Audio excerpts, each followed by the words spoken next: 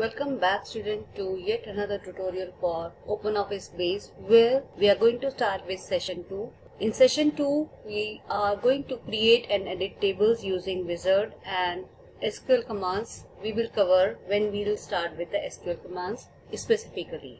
Introduction to RDBMS, database objects, tables, queries, forms, reports, the terms used in database like table, field, record and so many. Then we are going to create the table using the wizard and using design view. What are the different data types in database, how to set the primary key and we are going to add the records in the table as well. So first we are going to start with RDBMS. So data in relational database management system or RDBMS for short is organized in the form of tables. This is a table. The vertical ones are known as the columns and the horizontal lines are the rows. So a table consists of columns and rows. RDBMS is a collective set of multiple data sets organized by tables, records and columns. And relational database is known as with the name you can identify relational. Relational means the the database which has some relation. So the tables are interrelated with each other. You can see there is a relationship between the database tables. That's why it is known as RDBM. Now a RDBMS, this is important,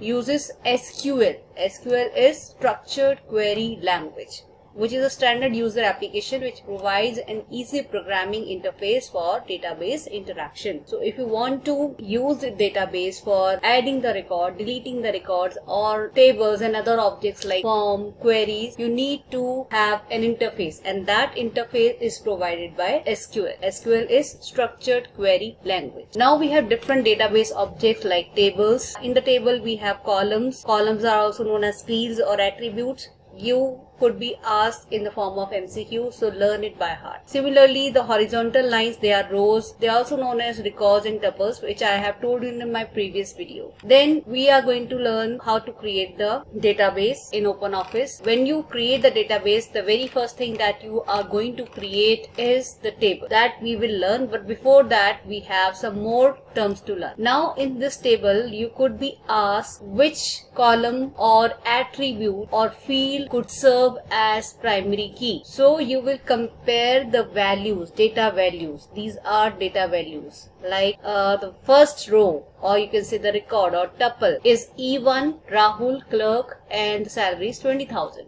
So these are four values or data values. Out of these columns, employee ID is the column which is having unique values. Each row, each row is having a different value.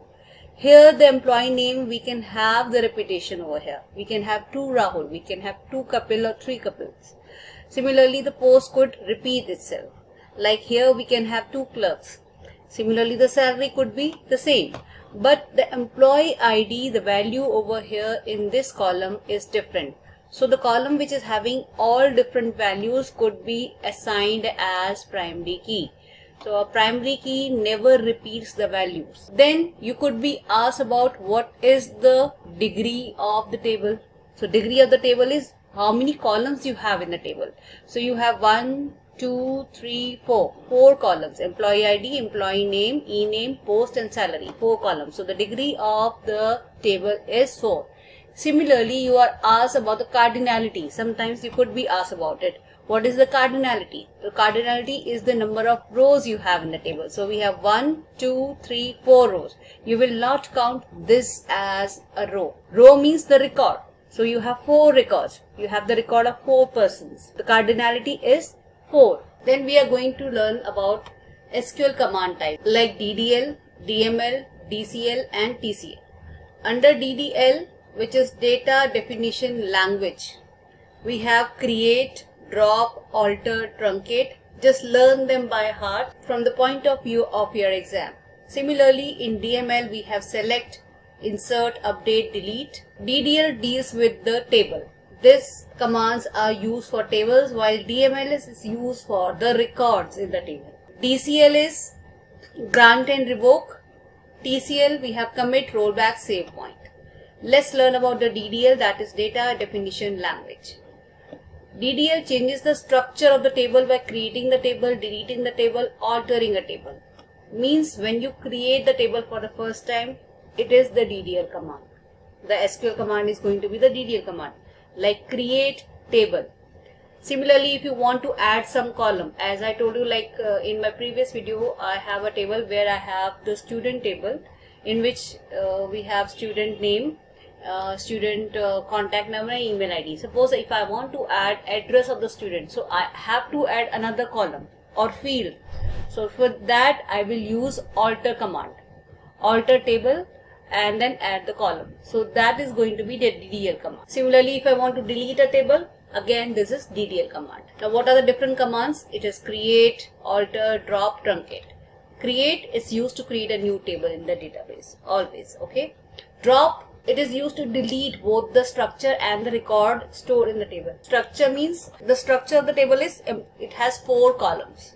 Employee ID, e-name, post, salary. When you create the table, it is empty table. Okay. So that is the structure that you create when you create a table. That after creating the table, you insert the record. Fill in the data. So they are the records. You can see it is used to delete both the structure and the records stored in the table. The next one is the alter command. It is used to alter the structure of the database. So you can add a new column, you can delete a column or you can modify a column. Suppose uh, you have taken the name of the employee could be maximum 20 characters but there is an employee who whose name is having more than 25 characters. So in that case you have to change the structure of the table. You have to change the field length. The name should have at least maximum 50 characters. So you are going to change the structure of the table using the alter command. Next we have the truncate. Truncate is used to delete all the rows within that table. So the table will be there. If you want to uh, delete all the records but you want your table to be there. So it is when you use the truncate command the records within the table will be deleted and it is going to be the empty table. Structure will be maintained. So all the columns will remain same, only the records will be deleted. So that is the difference between the truncate and drop table command. You could be asked the difference between the two. Next we have data manipulation language, DML. Now this DML is used to modify the database. What is the database? Means the records. What are different commands within the DML? It is select, insert, update, delete. Select it is used to find out like you have the student name and total marks or average marks of the student. You want to find out how many students are there in the class who has scored more than 75.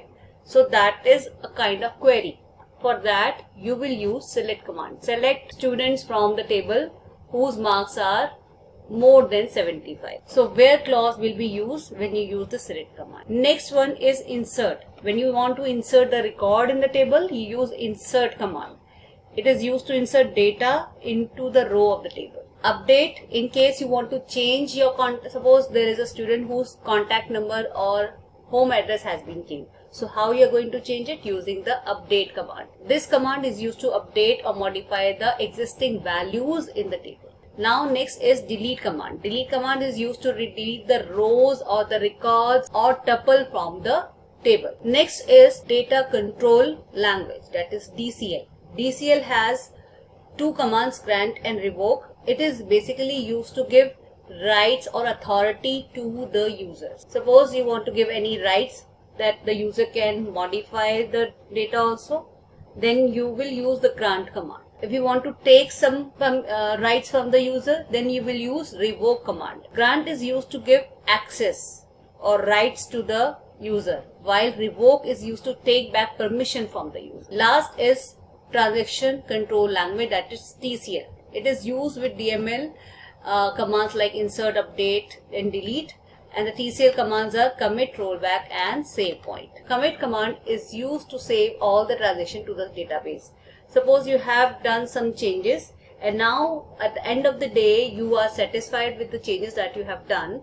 So there you use commit command. Rollback command is used to undo the transactions that have not already been saved to the database. Suppose you have made some changes but it is not saved. So at any point of time you can roll back. Save point, it is used to roll the transaction back to a certain point without rolling back to the entire transaction. Now let's understand different terms which are used in table. This is a table employee table where we have employee ID, Aadhaar number, e-name, job, salary, department number. These are all columns, attributes or fields. Employee ID is the field which is having different values. However, Aadhaar number is also different. E-name could be repeated, job, salary, department number could be repeated, but Aadhaar and employee ID, they are different. So we can have any one of them, any column could be chosen as primary. So we have two candidates over here which could be used as primary key, employee ID and Aadhaar. Here we have chosen employee ID as primary key. So Aadhaar number will be your alternate key. Okay. Now in this table we can see the department number is there and this is a primary key in the table department. Now when the primary key is used to create the relationship between with another table that key is used to refer the records from the parent table to the child table. So here this column will be used as foreign key. When it is a primary key the values will not repeat but here when you use this column as foreign key, the values could be repeated. Let's revise composite key one more time. Composite key as I told you is the combination of two or more fields. When they are combined together, they can uniquely identify the record in the table. Now in this one supplier ID, it is repeating itself. Similarly, item ID is also repeating itself. But if I combine the supplier ID and item ID together, it will create a unique value. Can you see that? S1, I1, S1, I2, Similarly, S2, Y2, the values are not going to repeat. So here supplier ID and item ID both are combined together and used as primary key. Now this is a composite key where the two columns are joined together. Next is the candidate key. Candidate key means like in election we have the candidate, one of them could be the leader, one of them wins, the other are the alternates. Now here we have student ID, which is having all the unique values. We have roll number which is the, having all unique values. Similarly, email address is also unique. So there are three columns in this table, student ID, roll number and email, which could be served as primary key, which could be assigned as primary key. So now let's suppose I have taken student ID as primary key. In that case, roll number and email will be the alternate keys. Let's understand the primary key and foreign key examples over here. In this student detail, the student ID is the primary key. If suppose I want to find out how many marks Sarah has got, for that I have to refer the table student marks. Student marks is using two columns ID, student ID and marks. So I have to match the ID of Sarah with this table. Now so Sarah ID is 1041. So I will look for 1041 in student marks table and I'll find out the marks for Sarah. See one more example over here. Student ID, course ID. So the course ID will tell you the course name. If you want to find out what is the course that James is pursuing, you will refer this table. So James is pursuing accounts. This is important. Primary key, when it becomes foreign key, the values could repeat itself in the table. So the values over here for the course ID could repeat, but here they are different. This is all what we have to cover. In case you have any doubt, you can write in the comment section and tune into my channel for the coming videos.